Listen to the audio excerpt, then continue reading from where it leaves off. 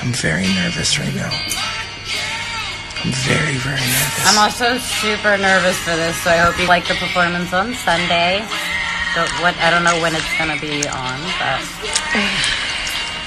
um, but I hope you have a really good day. Hands down, best day of my life. It is not a good day. It is a great day.